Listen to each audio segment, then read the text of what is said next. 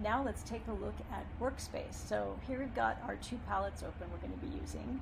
I also like to keep my paragraph styles and my character styles, to use those all the time.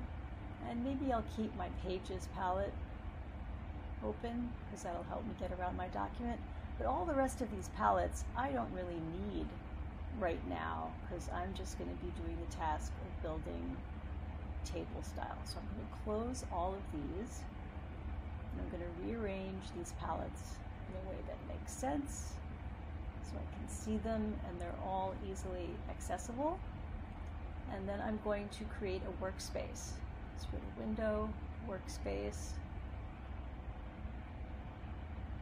New Workspace.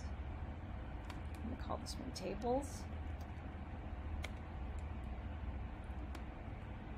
And there you go. Now I've got a tables workspace that I can come back to anytime and change around if I want to go back to a different workspace, the home one that I usually work in. And if I want to work on some tables, I can switch back to my tables workspace. And here are the palettes as I've arranged them, ready to go.